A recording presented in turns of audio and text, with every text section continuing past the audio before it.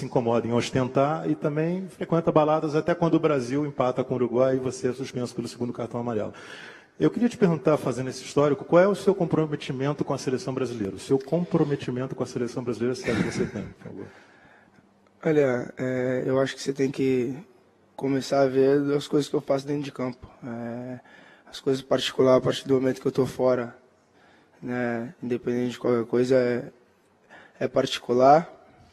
As coisas são minhas. Eu estou falando com vocês, tem como olhar para mim, por gentileza? Ah, obrigado.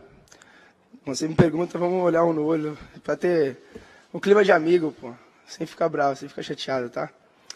É, independente de qualquer coisa, você tem que me cobrar dentro de campo, né? Como você falou dos cartões, isso você não tem problema nenhum cobrar. Agora, eu tenho a minha vida particular, tenho um cara, sou um cara de 24 anos, querendo que saia novo.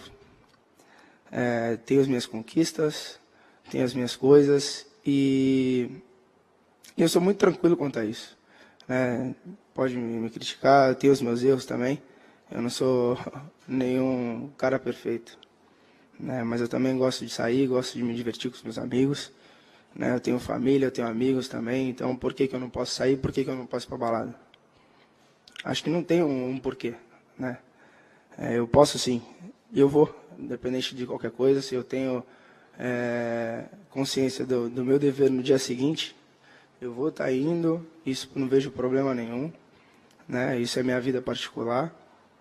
Agora dentro de campo não. A partir do momento que eu estou dentro de campo, eu sempre me entrego. É, tento sempre fazer o meu melhor, o, o meu máximo. Acabo errando, sim, como errei já muitas vezes. E ainda vou errar. Isso é normal para um, um ser humano. Né? Não é porque eu tenho 24 anos, sou um dos experientes aqui, é que eu sou perfeito.